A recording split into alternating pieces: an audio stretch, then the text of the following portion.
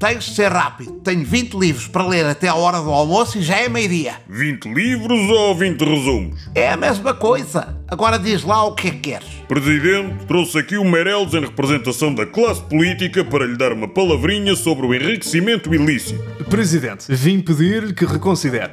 Hoje em dia até já nem podemos dar moradas falsas para sacar mais algum, entende? Que incentivo é que a malta vai ter para vir para a política? E que tal o ordenado? Os atrativos estão nos complementos. O Francisco Chassis é que tem razão. Qualquer dia querem que os políticos andem de núcleo. Décadas de trabalho de equipa do Centrão para que o enriquecimento ilícito não fosse criminalizado. E agora eu é que vou ficar como o mal da fita. Por que é que me estás a fazer isto?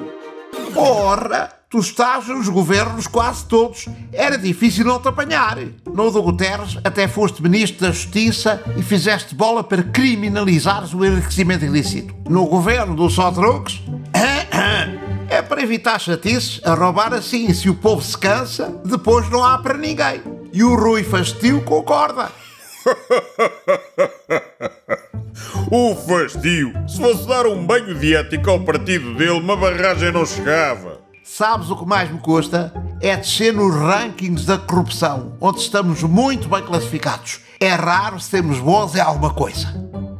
Agora que não tenho capital para uma casa de férias, estava ali na varanda de todos nós a apanhar uma cor e meia dose de vitamina D neste corpo formidável e estava a ouvir a conversa. Claro que tens razão, Nostra. E até já disse ao Marcel que enriquecimento ilícito foi uma grande conquista do 25 de Abril e que a sua criminalização é uma facada na democracia. E vai defraudar milhares de jovens que entram nas juventudes partidárias com o sonho de serem um José Só Truques.